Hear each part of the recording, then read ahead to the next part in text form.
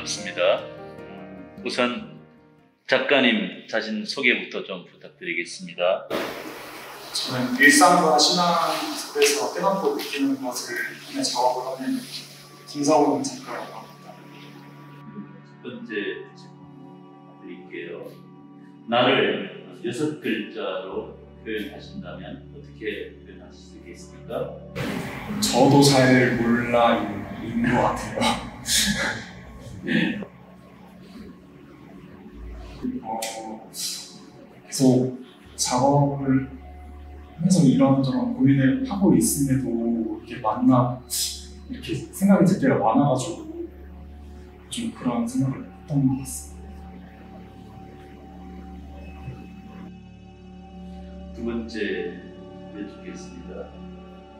지금 그 작가로서의 모습을 만든 작은 씨앗은 어, 무엇일까요? 작가가 되겠다고 결심하게 된 계기나 이유를 어, 말씀해 주십시오. 언제 아는 형이 너는 어, 하고 싶은 말을 못한다 이렇게 말을 한 적이 있었는데 그 말을 듣고 되게 충격을 받았었거든요.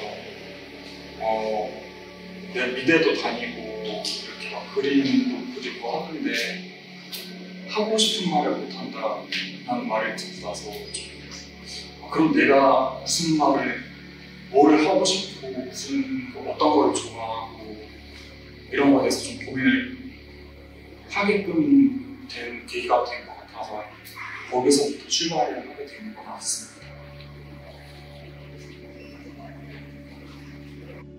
네, 다음 질문입니다.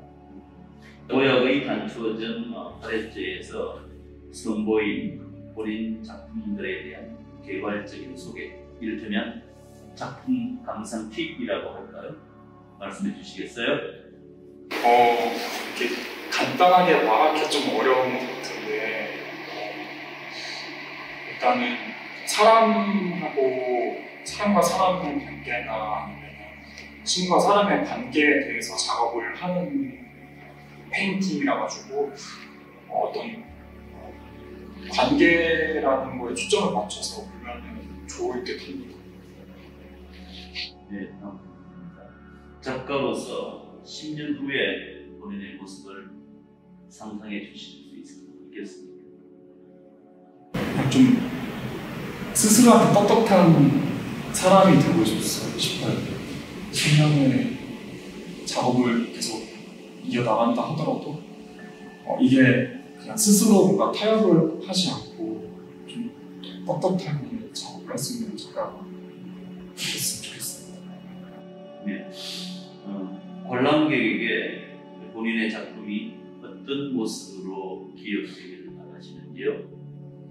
어, 그냥 봤을 때 그냥 어떤 사람이나 아니면 누군가가 그냥 떠올랐으면 하는 바람이 있어가지고 어, 이렇게 얼굴이 없긴 하지만 어, 그냥 딱 봤을 때 누군가 떠오르면 충분할 것 같아요 개인적으로